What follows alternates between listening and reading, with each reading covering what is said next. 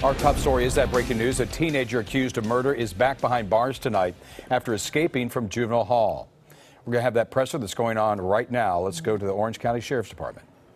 On behalf of the probation department, I want to acknowledge and thank the Orange County Sheriff's Department, the Orange County District Attorney's investigators, the U.S. Marshal's Office, the Anaheim Police Department, the FBI, and probation staff for safely uh, apprehending uh, the youth that escaped from our facility here shortly. At this time, I'd like to turn it over to Captain Peters. Good evening.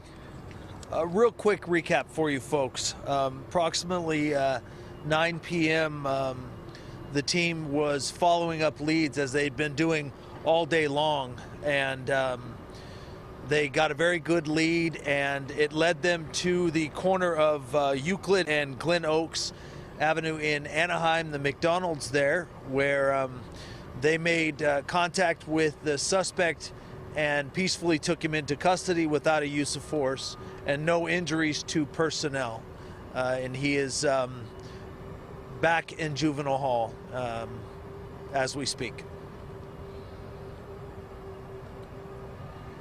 And again, with the, with the thank yous, and, and as being the chief probation officer in my 34 years of experience, what I what I observed today was a team of individuals that were committed and dedicated and well prepared um, to address and to bring this to a peaceful resolution, ensuring that that this youth was brought back into custody safely.